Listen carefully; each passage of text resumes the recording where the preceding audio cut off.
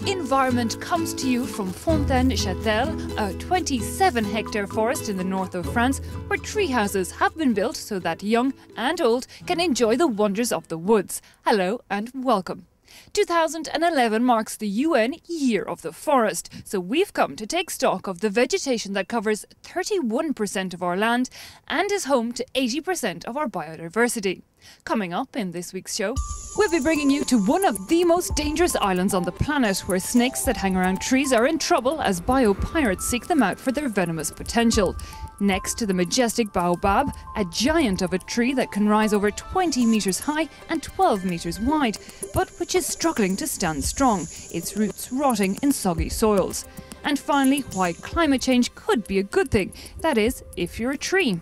Rising temperatures, some scientists say, is causing spurts in forests in the US of A. Well, here in this forest, uh, there's wild boar, deer, and lots of squirrels to be seen. But the rule here is look, don't touch. And from here, we're going to cross to an island off the coast of Brazil, where local fauna, notably snakes, are being stolen. With a venom five times more potent than its closest relative, this unique species is under pressure from man.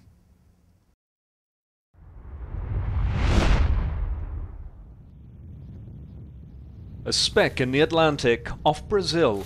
Only a handful of researchers are allowed to step foot here. This is one of the most dangerous places in the world. An island thought to have the biggest population of snakes per square meter on the planet. And not just any snakes. These are Bothrops insularis pit vipers. They can hunt birds in the trees using an ultra-powerful venom. The bird dies very quickly and falls to the ground. The snake comes down the tree and finds the bird. This snake has been isolated on the island and after 2,000 years has become a unique species that doesn't exist anywhere else on the planet. A unique species attracting nefarious attention. Over 12 years, the Bothrops insularis population has shrunk by half.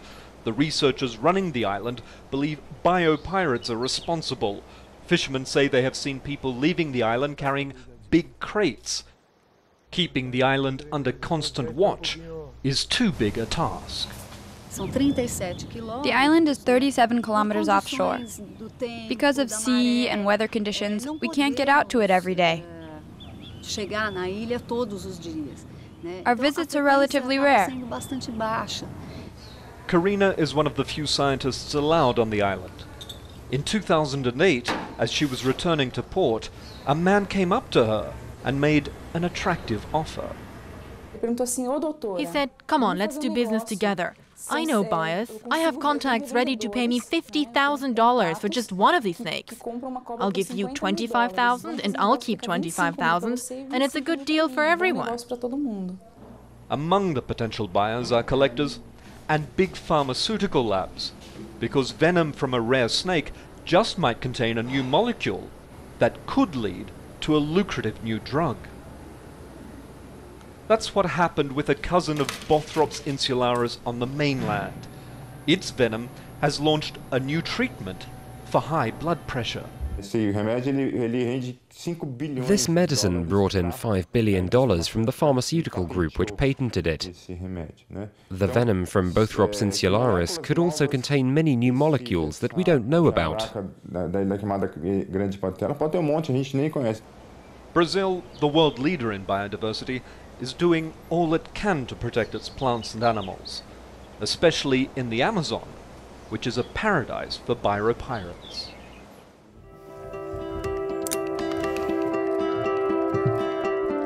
Back here at Fontaine-Châtel, the highest treehouse currently stands at 12 metres. High for here, but it wouldn't even be halfway up a tall baobab. Six of the eight species are found only in Madagascar. Known locally as Mother of the Forest, the tree provides fruit, oil-bearing seeds and even a bark that can be used as a rope. But the majestic giant now faces extinction.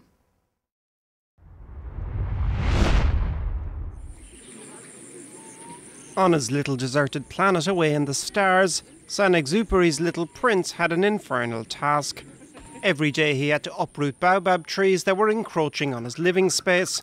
On our own planet, the Isle of the Baobabs is Madagascar. The trees, which are sometimes up to 1,000 years old and grow as tall as 40 metres, are steeped in local religion and superstition. In Madagascar, unlike in the Little Prince, there's no need to pull up the baobabs because the trees are in danger of extinction. Changes in agricultural practices have drastically modified the habitat of these holy trees. I used to grow manioc. It was what all my ancestors grew. But when a sugarcane factory was built near here, we decided to take advantage by changing crops. It brings in a lot more money than manioc ever did. The problem is the resultant poor quality of the water is destroying the trees. The baobabs stock water during the rainy seasons. And what they stock, they use in dry periods. But the farmlands around here are flooded all the time, which damages the roots. And the trees face another enemy isolation. Spared by deforestation, they nonetheless lack the company of other species of trees felled by the locals. Scientists say this enforced solitude could upset the tree's biological system and lead them to die out. The baobabs are soon to become a tourist attraction. The villagers are to be retrained as tour guides, a way of earning some money and of convincing Madagascans the danger of losing such a priceless heritage.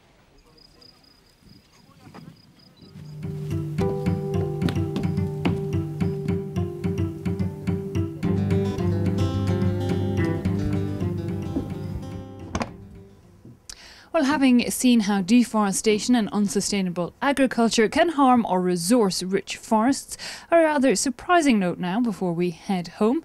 Climate change, it would appear, can be good for trees. That's according to scientists in the United States who say that increased CO2 and heat can lead to growth spurts.